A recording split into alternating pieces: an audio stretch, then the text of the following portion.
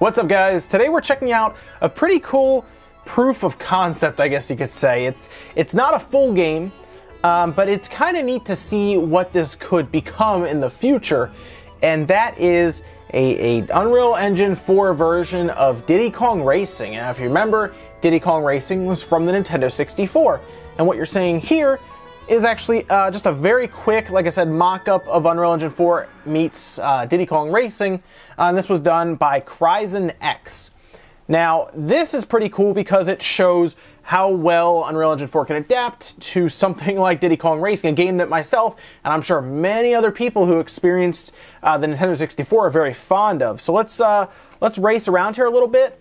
Now, I, uh, I, I played this uh, I played this some, and I realized there's not a ton to do in this, so I figure this probably won't be a very long video. But let me just race around here a little bit, and as far as I can tell, there's no real support for controllers, at least when I plugged in, it didn't work right away or anything, so uh, rather than play around with it, I figure I'll just I'll just use the keyboard. You can just use the, the arrow keys. Up is obviously go, and you can back up just by pressing down. And uh, there were some other buttons on the keyboard that did stuff like C, for example, changed my camera view so I can kind of see uh, Diddy kind of driving there. It looks pretty good. Keeps opening his mouth for some reason. let's, let's push up here and uh, kind of race around just very quickly. Um, there are times where I get stuck against the wall. Again, this isn't like set up to be a final product, even set up for the consumer base. It's kind of something you can load up on your computer and say, that was pretty cool.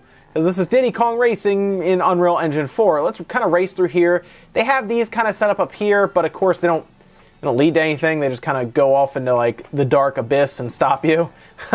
so let's let's race back down here, and uh, they do have some tunnels we can go through. We can go in the water a little bit, uh, just a little bit. Then you start slowing down. We got to get back out. Um, they have the full water effects. They have like the rainbow, the lighting effects from Unreal Engine, um, and they have a tunnel up here. I assume the tunnel is there to kind of show off lighting effects and changes and stuff in lighting. So let's go through here. You get the little sound effect kind of where it's, or it's a little more hollow and it's kind of echoey. Get a little door there again. uh, and of course, there we go. This has uh, everyone clamoring now for Unreal Engine 4 Diddy Kong Racing. uh, how likely is that to happen? I don't know. Now, I will say this.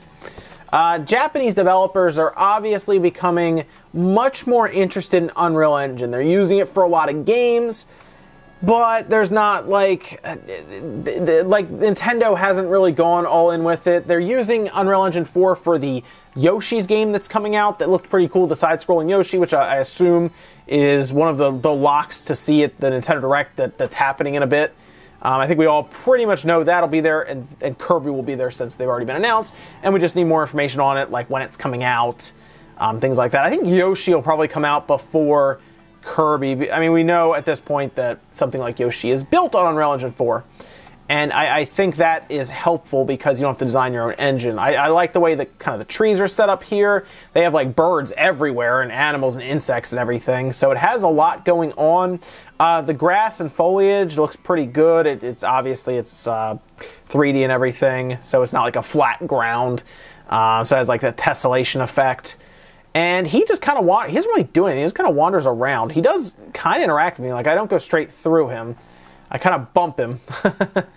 uh, no real. There's not like a lot of in terms of physics or anything that's that's here. As you see when I run into him, I just pretty much stop, dead stop. So nothing there. But this is really cool for one person to just kind of develop just for fun, just to show, hey, this is what Unreal Engine 4 could do for something like a Diddy Kong Racing, right? Um, and and I, I like so far what I'm seeing here, and I think this would be pretty cool if Nintendo decided to pursue this.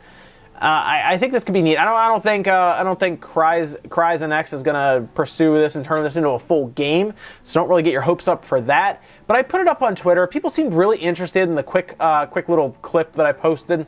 So I figured I'd explain what it was show you guys on YouTube, um, just in case you're curious, because it's it's kind of fun, and you can download it yourself for free. There's a free download link, and it'll let you kind of race around here and see it for yourself while you're playing. No real controller support. I'm pretty much just using the the the arrow keys to race around, which isn't the easiest thing in the world, obviously. But see, we'll actually change some of your camera angles. Kind of neat. I, I have a lot of fun with it so far, but it's it's nothing like that you're going to just play and for a while or anything. It's more a proof of concept. So I hope this gets picked up. I hope Nintendo decides to bring back Diddy Kong Racing and maybe use some of these more modern engines to bring it to life. So let me know what you guys think though. This is uh, this is running on PC right now, um, and it seems to get locked at 60 frames pretty much the whole way. So it's not super graphically intensive for a decent computer, but uh, a lot of fun. Guys, let me know what you think about this down below. Would you like to see a, a, revival of Diddy Kong Racing? And would you prefer them to make it on a custom engine or use something like, well, Unreal Engine 4? It seems